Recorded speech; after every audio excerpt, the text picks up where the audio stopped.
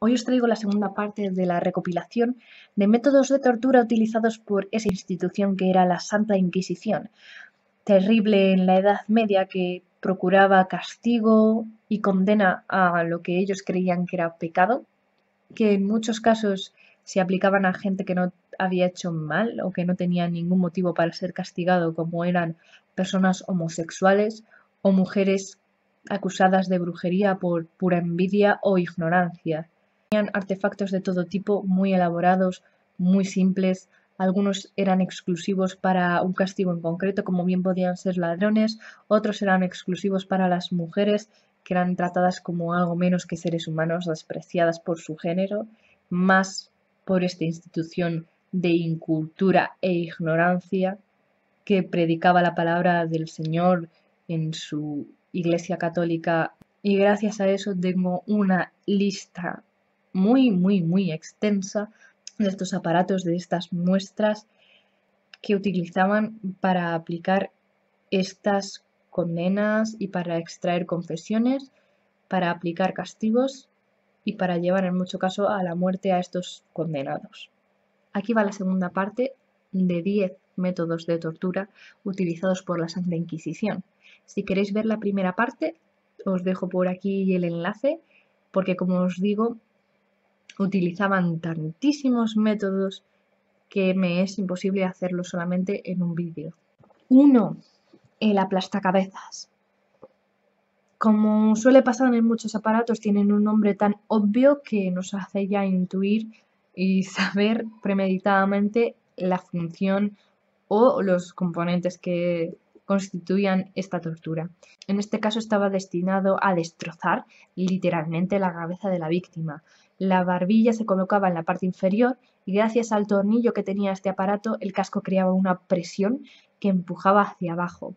De esta manera primero se rompían los alveolos dentarios, luego las mandíbulas y por último llegaba el cerebro a salirse por las cavidades de los ojos, entre los fragmentos que quedaban del cráneo roto.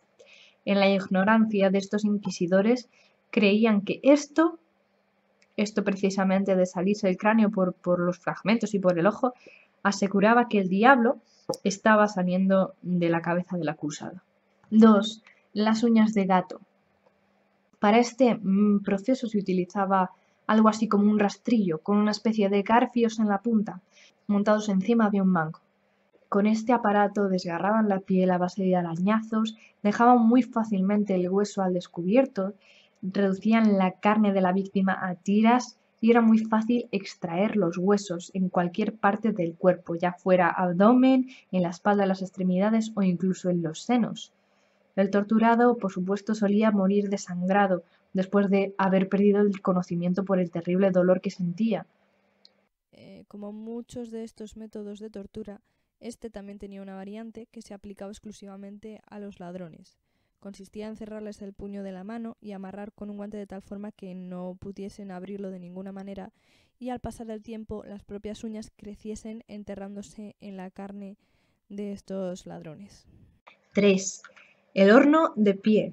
No es que estuviesen de pie mientras se aplicaba esta tortura, cosa que en muchas de ellas se hacía, sino que se aplicaba al pie, a los pies, exactamente. Era uno de esos métodos que gustaba mucho a los torturadores de la Inquisición y consistía en atar a los acusados a una pequeña mesa de madera, impregnar los pies en grasa animal, acercar esta a un horno abierto y la grasa, con ese mismo calor, entraba en ignición provocando unas quemaduras y un dolor sumamente intenso. 4. La horquilla. Este aparato tenía cuatro puntas muy afiladas que se clavaban con mucha profundidad en la carne bajo la barbilla y sobre el esternón. Por supuesto, la horquilla impedía cualquier movimiento de la cabeza, pero eran tan crueles que permitía a la víctima murmurar. Con un suspiro de voz decían aviuro, que era la palabra que tenía grabado el costado de la horquilla. Si se negaban a confesar, además, eran considerados impenitentes y se les vestía con un traje característico para llevarles finalmente a la hoguera aplicando la extrema unción, pero solo en caso de la Inquisición española. Si eran víctimas de la Inquisición romana, el hereje era quemado o ahorcado. Este método solía utilizarse antes de la ejecución del individuo para aumentar esa agonía. Eran así de crueles. 5. La garrucha. Esta técnica consistía en atar con las manos a la espalda a la víctima y entre medias de la cuerda pasar un palo, que gracias a un sistema de poleas ayudaba a izar a la víctima a lo alto. Para aumentar el dolor, por si no fuese poco, ataban peso a manos, pies y testículos. Esto solía ser suficiente para que las víctimas confesasen, pero en caso de personas duras recurrían a soltar las poleas para que el condenado cayese por su propio peso y la carga atada. Cuando estaba a pocos centímetros del suelo, no la dejaban caer, sino que paraban bruscamente, provocando la dislocación de sus brazos. 6. El taburete sumergible. Era utilizado principalmente para las mujeres acusadas de brujería. A estas mujeres se las sentaba en un taburete, se las ataba con correas para que colgasen de un extremo y se balanceasen. Eh, la silla utilizada era sumergida bajo el agua y la persona sumergida quedaba allí hasta que el inquisidor quisiese. El proceso se repetía hasta que el acusado confesaba o bien moraba ahogado o del propio frío del agua. De tanto entrar y salir en el agua, moría de hipotermia. 7. Atadura. Cualquier cosa le servía en la Inquisición para torturar y algo tan simple como un palo ofrecía muchísimas posibilidades. Eran tan salvajes que con atar un palo al cabello de la víctima tenían suficiente. Eh, metían el palo en el cabello, retorcían y eso era un método de tortura. Este método no solo provocaba dolor con los tirones del cabello, sino que además desprendía el cuero cabelludo del cráneo, era uno de esos métodos usados específicamente para mujeres y obviamente el requisito era que tuviesen pelo largo y grueso. 8. El potro de tortura. La víctima era colocada en una mesa de madera con unas manivelas o ruedas de metal a las que se aplicaban unas cuerdas o cadenas que sujetaban las muñecas al cabecero y los pies a uno de los rodamientos. Al girar las manivelas, las cuerdas se tensaban, estirando el cuerpo. Esto provocaba que las articulaciones se dislocasen, estando sujetas, y se rompían los huesos o incluso había casos en los que las extremidades eran arrancadas. Se podía aplicar o bien estirando rápidamente o gradualmente por periodos de días. Se reportaron casos en los que habían estirado el cuerpo hasta 30 centímetros como resultado de la sistemática dislocación de, la coyuntura del cuerpo. Fuertes ruidos de huesos dislocados, gritos de agonía y súplicas de misericordia eran lo que resonaba en ese lugar.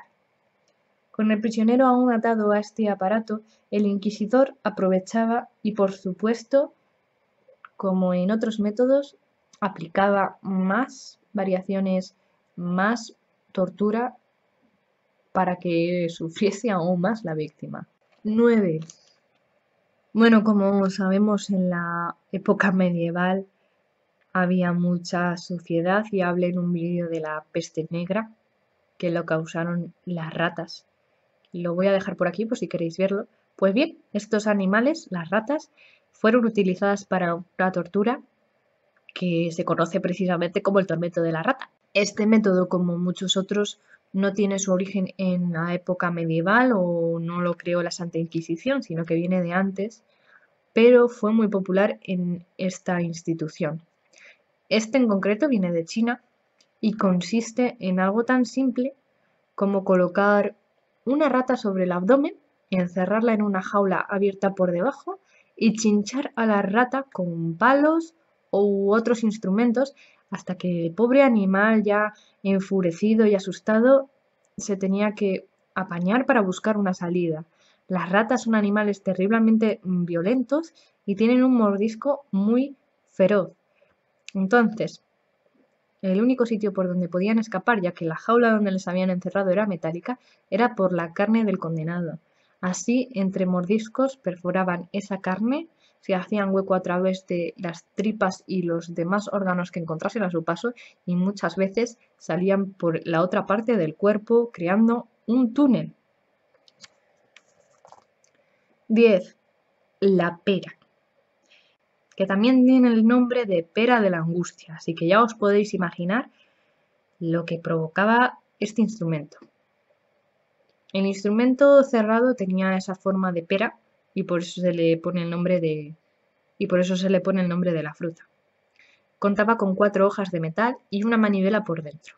Esta permitía extenderla o contraerla al antojo de quien la manejase.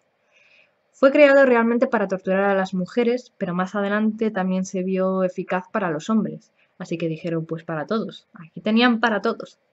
Se colocaba en la boca, en el recto o en la vagina de la víctima o en la vagina y allí se desplegaba gracias al tornillo hasta que se abría completamente. El interior de la cavidad donde se hubiese aplicado el instrumento quedaba totalmente dañado porque las puntas estaban afiladas y cortaba esos espacios donde se hubiese introducido, bien fuese la garganta, el recto o el cervix del útero. La pera oral normalmente se aplicaba a los herejes, la vaginal a las mujeres adúlteras o acusadas de brujería y la rectal a los hombres homosexuales. Hasta aquí os traigo hoy la segunda recopilación de métodos de tortura utilizados por la Santa Inquisición en la época del medievo. Todavía me quedan muchísimos más artilugios y métodos por explicaros. Eh, no puedo no puedo unirlos todos en un vídeo, como os he dicho, porque si no se me haría muy extenso. Ya os he dicho que en su afán de torturar y su maldad interna, porque no se puede decir de otra manera, tenían una imaginación terrible y, se pueden encontrar muchísimos artilugios y métodos y de verdad me resulta imposible aunarlos todos en un vídeo, así que me toca hacerlo poco a poco. Este es el segundo y todavía me queda para más. Si os ha gustado, dadle a like, suscribíos y por favor comentadme abajo qué método os parece peor de los que os he explicado o qué métodos conozcáis queréis que incluya y explique en vídeos posteriores. Muchas gracias por verlo y hasta la próxima.